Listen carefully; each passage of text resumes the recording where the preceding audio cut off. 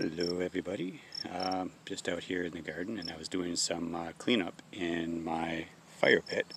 And what I have here is all the leftover mostly burned remains of the wood I had been burning in my last fire.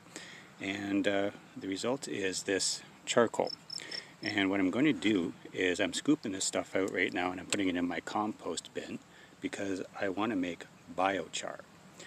Now biochar is uh, basically the the remains of wood that had has all the volatile organic compounds burned out of it, but still has structure to it. So, I mean, it's just basically, It's not ash because ash is completely burned out, but it still has this dry, crumbly structure to it. Get that in focus. And basically,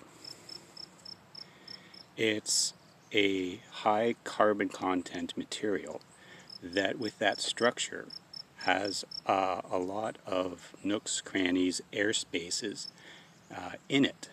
And when you add it to compost, what it does is it absorbs water and all the nutrients of that compost.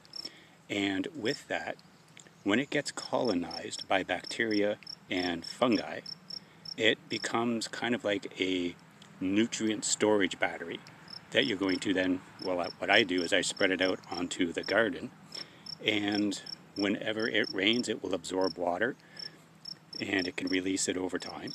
It will absorb any extra nutrition, like when I fertilize the field with more compost, it will absorb any excess nutrition and it will promote that bacterial and fungal growth in your in my garden and make uh, which of course when you have that bacterial and fungal growth in your garden that's going to help in the nutrient cycle which obviously is going to benefit your food production. So that's what I'm doing right now with this. And simply put I'm just going to shovel it here and bring it on over to the compost bin. Alright so I'm here at my compost bin. It's a bin that I had filled up um, and is pretty much topped off. And part of the layering system I use, uh, some of that is actually going to be this leftover burned charcoal that I just take out of my fire pit. And I'm going to sprinkle a few layers in, of that into my large pallet bins. And in my composting system, uh, I let this decompose to about one third of its size and then I'm going to take that and give it one turning into a central bin here which is empty because well it's just empty for now. And I'm filling up another bin here. And when this decomposes gets filled up and gets decomposing to about uh, two-thirds of its full size I'm going to let it decompose to one uh, down one-third of its total volume. Um, I'm going to turn that into the center bin. So it'll have the remains of this semi-decomposed material and this semi-decomposed material in a center bin, all mixed through with the charcoal.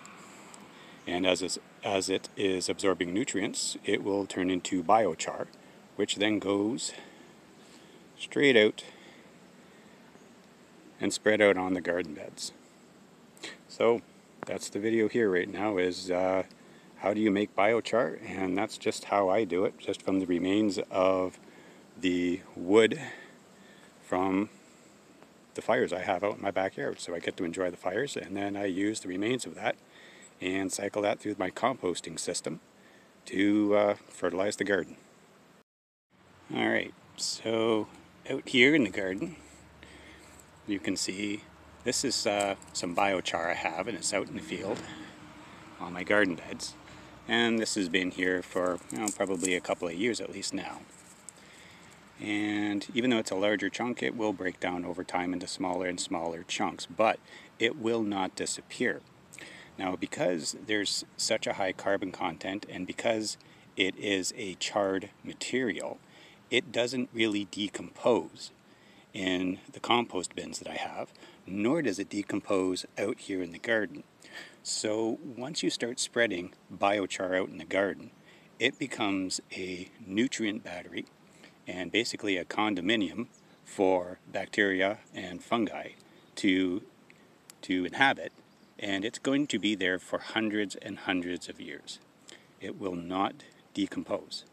So once you have it out in the field, as I do all over the place here, um, that's going to continue working and uh, providing that, uh, let's say, housing or accommodation for the fungus and bacteria to live and just help in the nutrient cycle, nutrient cycling and the fertility of my garden.